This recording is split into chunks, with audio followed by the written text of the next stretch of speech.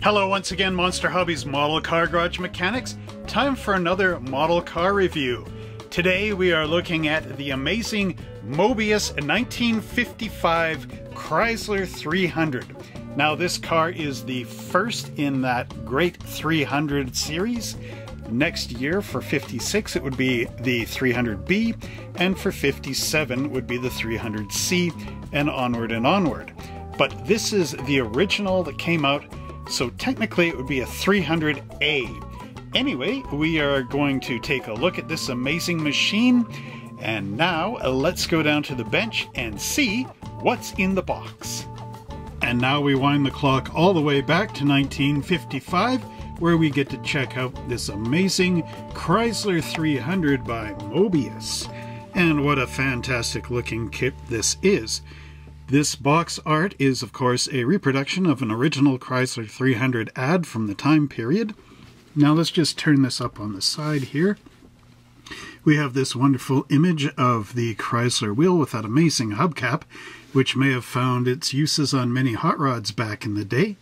Moving across, we get to see an artist's rendition of the interior, and then we get to this panel, where we see the amazing front end of our Chrysler. Now, Volvo seemed to have used this type of grille on their Amazons in the later 1960s. Again, a really cool design and well worth it. We get more details of the kit on this side of the box where we see that this is a 125th scale all plastic assembly model. Over 125 detailed parts, fully detailed firepower 90 degrees V8 Hemi engine. Includes original sales brochure reproduction. Paint and glue required for final assembly. Again, a really cool kit. And there's more of that old style advertising on the end of the box.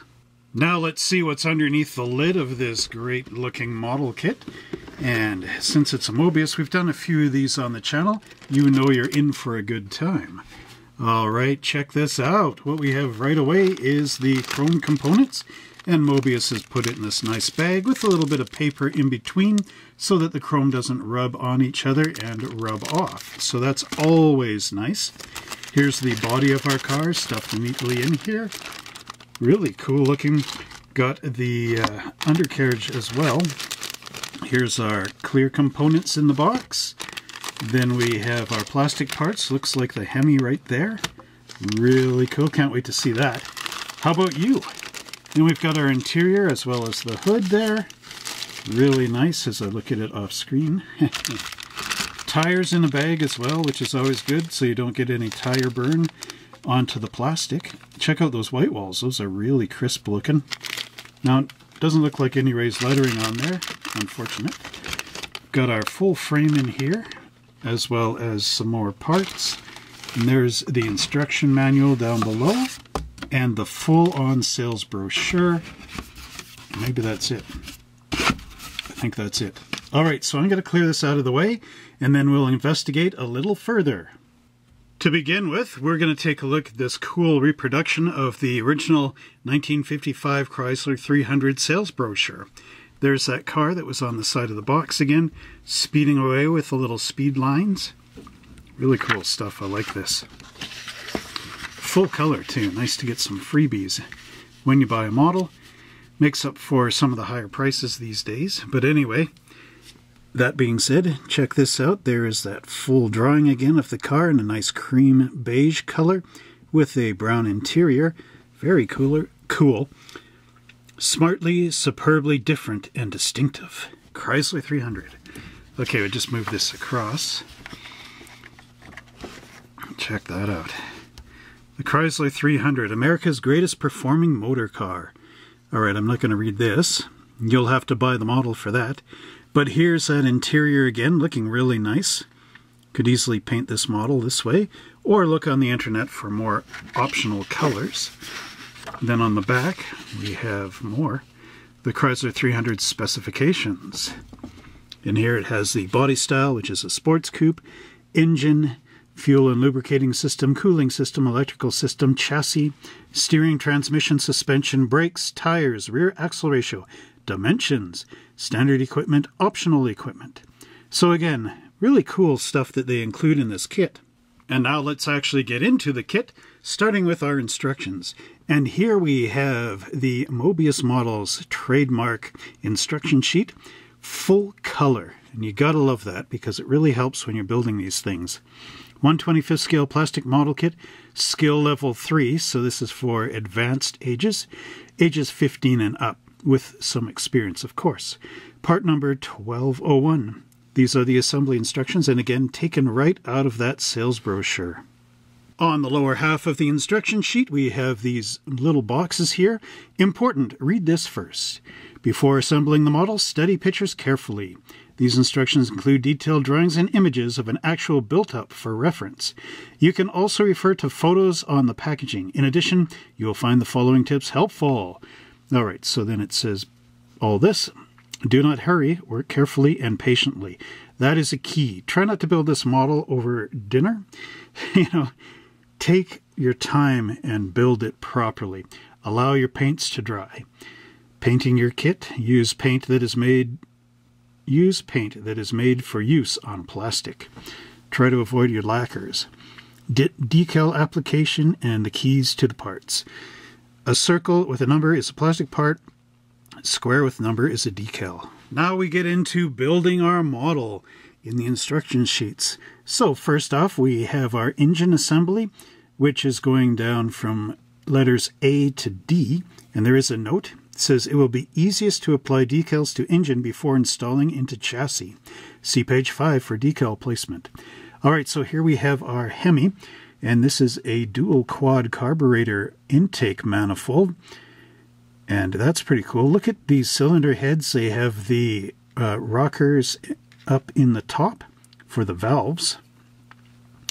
All right, so we've got a left and right hand side engine block with a transmission on the back the big heavy duty Chrysler transmission. And then you've got your oil pan going underneath for the transmission and the oil pan for the engine up here. The engine front cover and water pump right there. We've got our left and right hand side cylinder heads and left and right hand side valve covers, and again that dual intake manifold. So that is step one on the construction of the engine. Now moving into step two of our engine construction. Here we start assembling everything to the completed engine block from part one, or step one. And look at all this great stuff we have. We have the air cleaner with the right and left hand side air cleaner canisters on it, going into these wonderful carburetors, and they even have the fuel lines attached. Upper and lower carburetor, distributor at the back, oil filler tube going in here, upper radiator hose, a generator power steering pump, starter motor, left and right hand exhaust manifolds, lower heater hose. We have a fan belt and pulley assembly, our fan.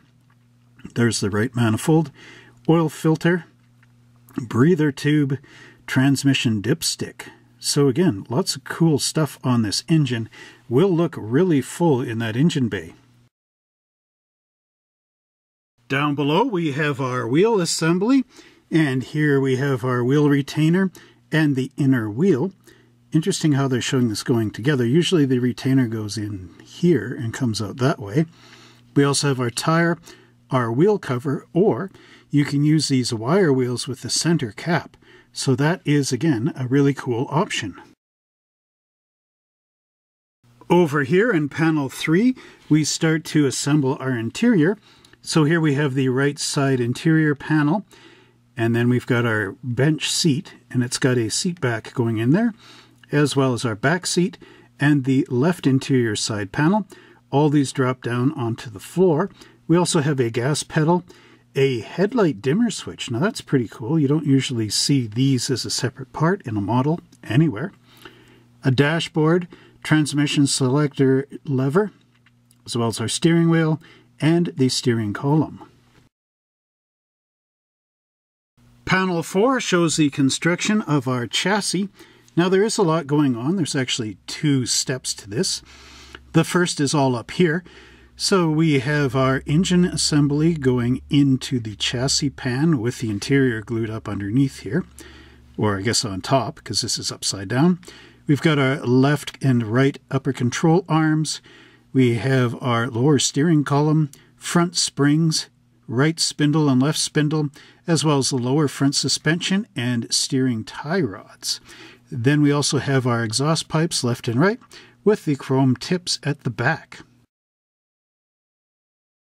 Going into the second panel down below, once you have 4A done, getting into 4B and eventually C, we have the wheel assemblies being glued onto the front spindles, the drive shaft, the differential gear housing being glued to the rear axle, and then the wheels being assembled on there.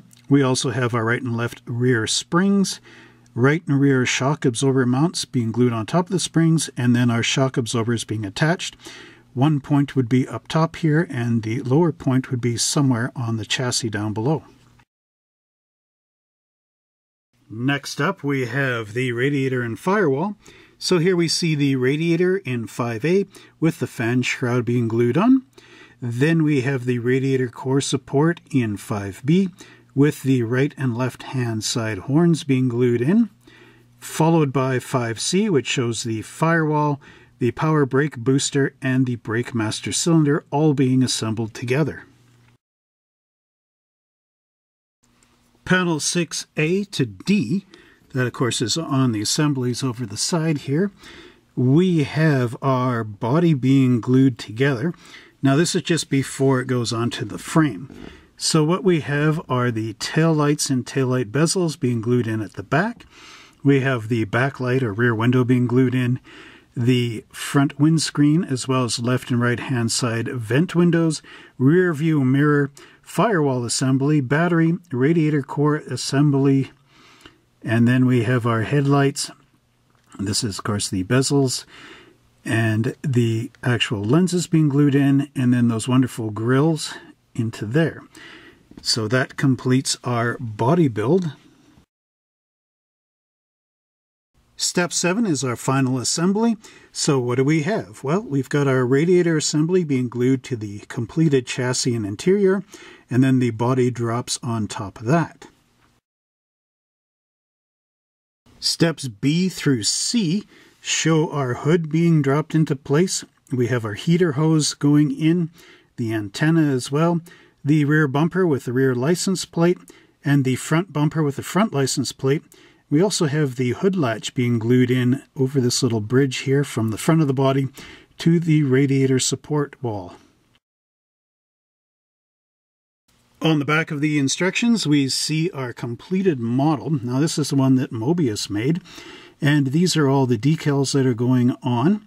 Again, a lot of cool things. We have the interior. It says to use black flooring, silver door handle hardware and detailing, natural leather seats and interior parts. Under the hood, we have the power steering fluid reservoir caution label right there, generator label there, and the coolant warning label going right here on the brace of the rad support. Underneath, we have our chassis here. It says note the use of a variety of finishes from flat to high gloss on various parts of the chassis. This adds realism and interest to the completed model. See page 6 for color suggestions. Subtle weathering on various metal parts of the chassis can provide a realistic appearance to the model's underside. So again, this is what it would look like once it's all complete. The lower portion of the instruction sheet also shows the dashboard, and you have your speedometer decal, fuel temperature gauge decal, radio face decal, clock, Chrysler logo. There's our engine all built up. We've got the air canister label, the generator label, power steering fluid reservoir caution label, oil filler label, air, air canister label. So again, a lot of cool decals just to dress this all up and make it look accurate. One thing to note that if you do want to add engine wires to this model kit, the wires don't actually go over top and into the valve covers from the top. Back in this era, Chrysler wanted the engine bay to be nice and clean, so they used these little covers over top of the spark plug wires. So all the wires would actually exit out toward the back somewhere and then come into the distributor like this. So you wouldn't see them draped over into each of the cylinder heads because that's all covered up by this little cover. Getting down to the bottom, we can see our completed car here and all the other decals like license plates, so it's either 14 or 15, the 300 lettering, the Chrysler lettering for the side, and then up front we've got the Chrysler lettering on the front of the car, and then we also have the license plate choice down below, 300 lettering on the gas filler door, as well as on the other side, of course, there, and then Chrysler lettering on this side. So again, a really look cool looking model. Looks like they're using the wire wheels down here as well. So again, the choice is yours. Finally, on the back of the instruction sheet, we have the suggested paint colors. It says the 55 Chrysler 300 body was available in three factory colors, Tango Red, Formal Black, or Platinum White. So obviously the color of this model is Platinum White. And then it also gets into more. So there's all the different colors. And then it says Testors Model Master Guards Red, Testors Model Master Classic Black, or Testors Auto Lacquer Wimbledon White. Now, of course, Model Master has been discontinued, sadly, but you can find these colors elsewhere. Again, this whole instruction sheet calls out for Testors paints, so those of you that love Testors will be able to use your favorite model paint on this great kit. Now let's get into the plastic components of our model car as we check out Moebius's amazing kit. So here we have the distinctive Chrysler 300 roof and upper body. Now this kit is quite amazing. You can see it still sort of has an earlier 50s style of roof onto it, but we won't fault it too much. Look at how cool this looks on the side. This, of course, being the first generation Chrysler 300. And uh, amazing stuff. We've got the gas filler door right there with the 300 on it. There is a seam line running up here, so you've got to make sure you clean that off. Actually, it doesn't feel like a seam line. Maybe it's just some mold release agent. You can see the Chrysler logo on there, as well as the molding. Door handle is nice could be opened up, I believe, if that's why they did it. Again, looking at the front, great detail on here. A lot of uh, good ways to make sure you don't have the headlight upside down is with this notch in here. There should be a little tab or something on the actual headlight itself. The Chrysler emblem looks excellent on there. Looks like it would be easy enough to paint. There's our inner fender aprons looking nice and smooth in there. You also have the two-way windshield wipers. Actually, they're opposed, I guess. So one will swing out this way, the other will swing out that way, as opposed to them both going in the same direction. Again, really nice smooth casting on here. Emblem on the back looks great. Let's turn it over. You can see a nice headliner up underneath there with sun visors as well. Excellent stuff. There are a couple of mold marks down in here, which you'll have to get rid of with your number 11 or number 16 hobby blade. Mold marks in the back. These look like they might interfere with the glass, so just make sure you've got them cleaned up and out of the way so that the glass sits down there nicely. Overall, I would give this model kit a real good mark. Looks excellent and should be easy to clean up. The next part we have is our interior pan. This was actually sitting inside the body. It has a nice carpet down below, as well as this box for the seats to fit in. Moebius stamp in the inside of the gas tank. Chrysler Corporation up under here, so you will have to sand that out in order to make it nice and smooth. Overall, though, that detail under there looks amazing place for the spare tire as well. You can see the tube running up to fill the gas out the side of the car. Again, really excellent work on here and should look good once you got the model all complete. Here we have the body with the chassis installed and you can see that it is a nice flush fit. Of course, this is just sitting in here loose. This is how it came in the bag. But again, there's no gaps along the edges. Looks like a nice fit indeed. And there it is looking through the windows.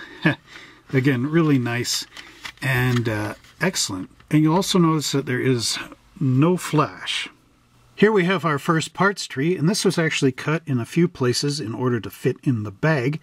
So I've just roughly head them together here.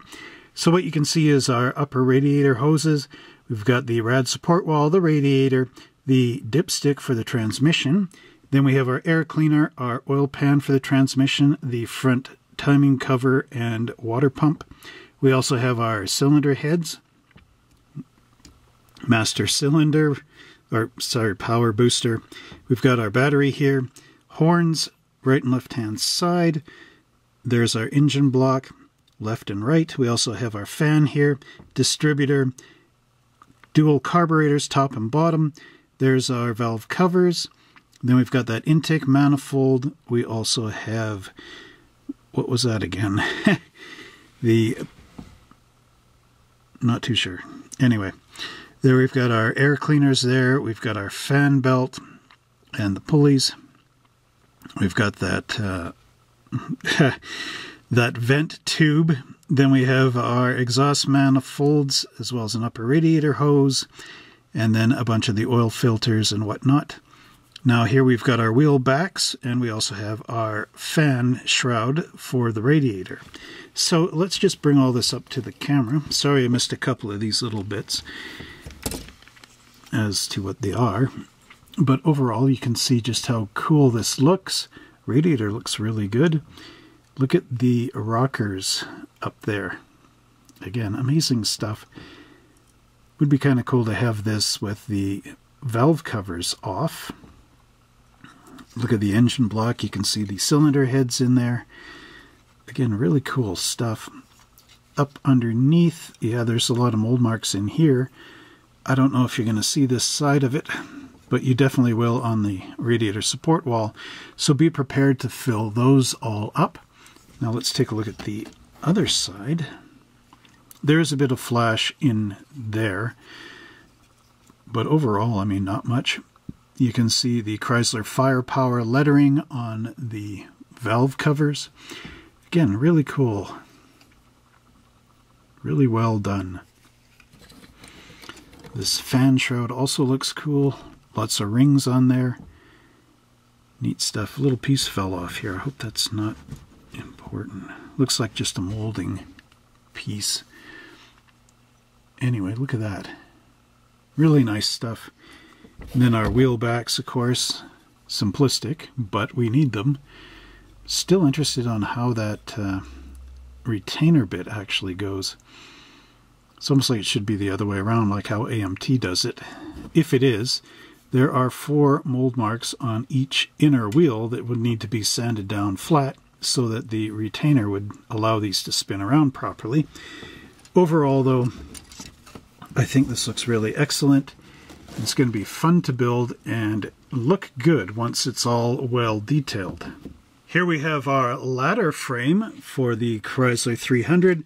You can see how thick this frame is. That would be a really heavy duty frame back in the day. Very, very heavy duty. Again, really cool stuff. The detail on there is nice and crisp. No flash to be seen. You do have some seam lines, but of course those can always be cleaned up. I guess there's a little bit of flash around there, but I mean, nothing to cry about, definitely. Mold marks seem to be the bigger issue on this kit, but again, you could always fill those in or hope that some of them end up getting covered. But overall, this should be a nice, good frame for your car to sit on. Here's the rest of the part, trees from that bag that I just opened. So we had this as well as the frame I just showed. Now here we have the rear differential, and what's cool about this is there's actually the hydraulic brake line hoses sitting up here. And then we have our rear springs, our differential, as well as the front spindles. Very amazing looking steering wheel with hand grips on it as well. The wheel retainers, and that is the little headlight dimmer switch.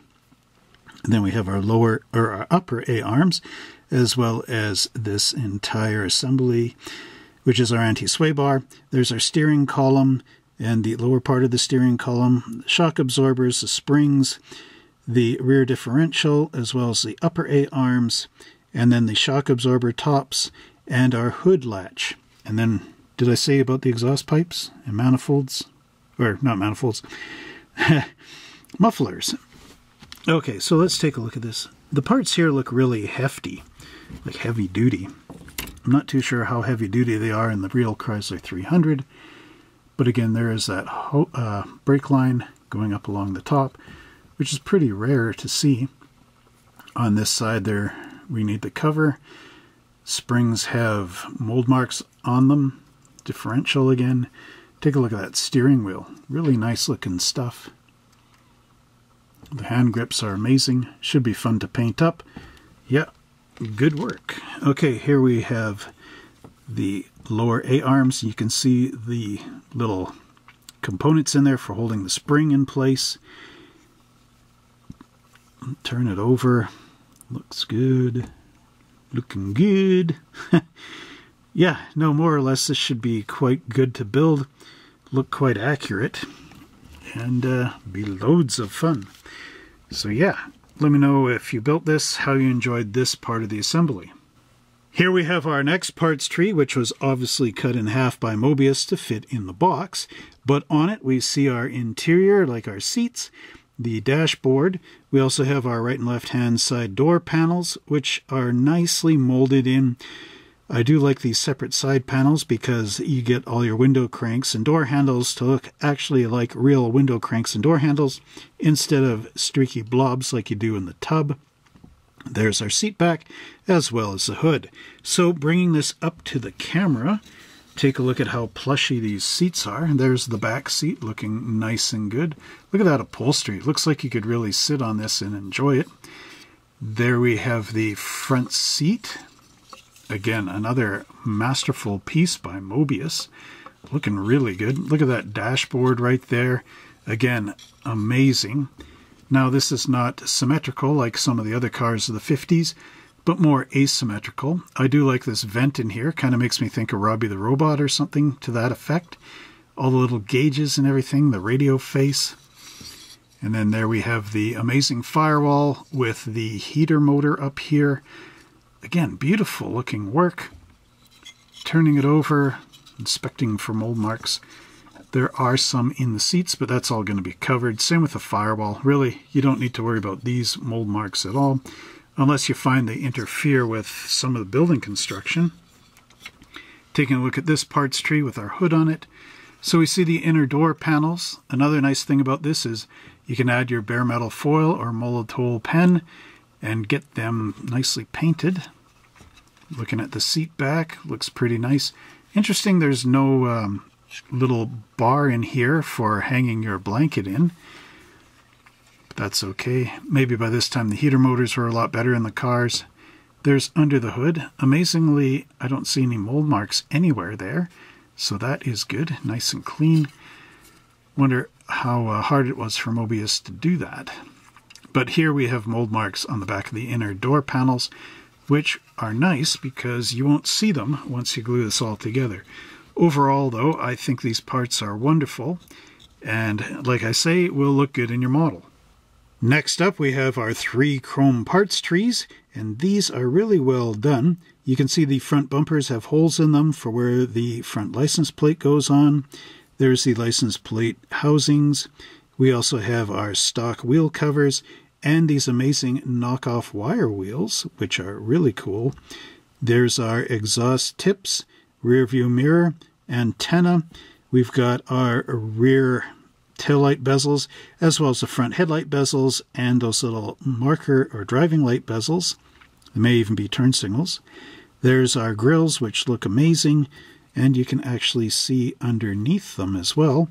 So that's good. Let's bring this up to the camera. Check out those grills. Very nicely done. There's our headlights and then our hubcaps. These are more the standard 300 hubcaps, but you could also use them on a hot rod if you want, or a different car. There's little stops there so you get your headlights positioned properly. Again, really cool stuff. There is this little bit here. I think that's the shift lever off the gear stick. Or, sorry, the, the console. Um, at any rate, it looks pretty good. Let's take a look at these amazing wire wheels. Look at those guys. Are they see-through? No, they're not see-through to the back.